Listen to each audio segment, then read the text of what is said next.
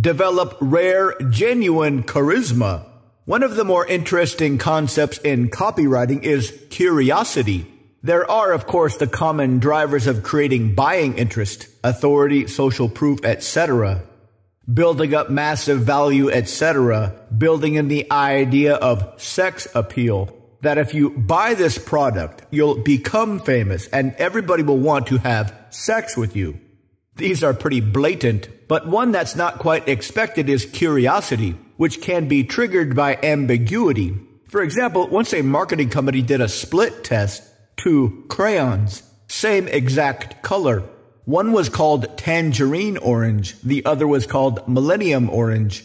The millennium orange outsold the tangerine orange by a lot. When we look at something and it has a label or a description and we know why it's called what it is, it's easy to file it away in our brain.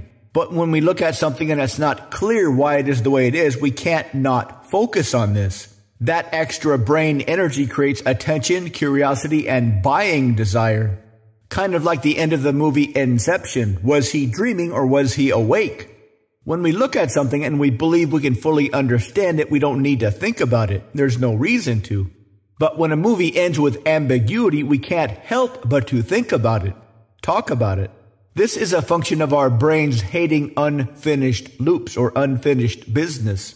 We need to find out what it means or how it ends or why it is the way it is. Consider this idea. Somebody walks into a crowded area like a club. You can't see them, but you can see the crowd's reaction to them. If you don't recognize them, you'll wonder why they are so compelling. Then somebody tells you, oh, that's that one guy or gal from XYZ.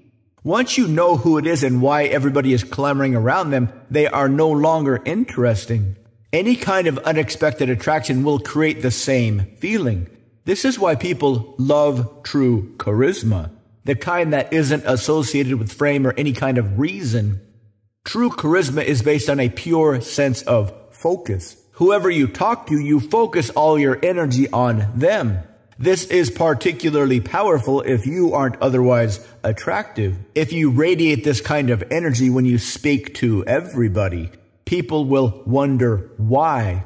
And since there is no obvious reason, this will create massive non-physical attraction, a rare personality trait that everybody wants. To learn more, visit mindpersuasion.com forward slash 3x3